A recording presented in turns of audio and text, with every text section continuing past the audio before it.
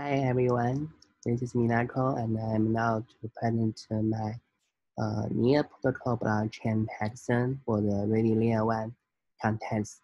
And I didn't know why my link didn't show here. So let me demonstrate my project for you now.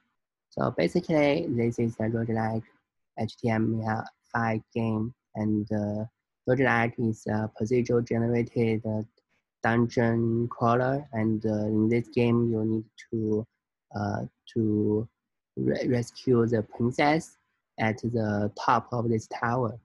So let's get started. So you can start the uh, project. Let me start another web page, and uh, once you hit any key to start the game, and then they will need to you to link your near wallet.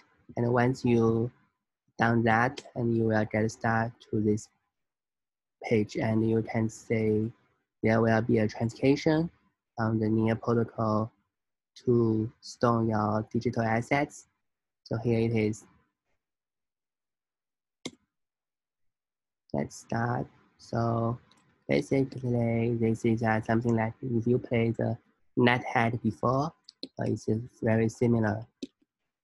And this is something you can find that that. And you will have uh, one more attack. So here we have a monster, this is the rat. You can talk to it, but it didn't do anything, so you can attack it. And now you, here is uh, something like the the gem game and you can uh, here for example.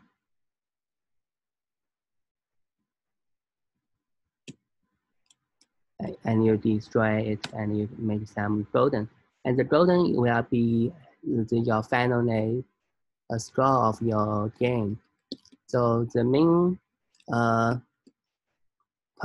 quest of the game is to rescue the princess uh, as fast as possible.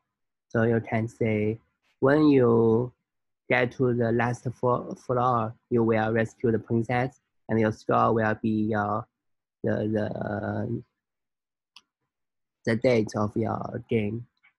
So if you want to play it, you can uh, go to this GitHub repo and run the following command to start the game.